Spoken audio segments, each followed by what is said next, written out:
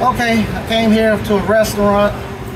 This is their freezer, tripping the breaker. What happened, this connector was sitting in that trough. That trough had water and it was causing it to short out. So fix the drain line as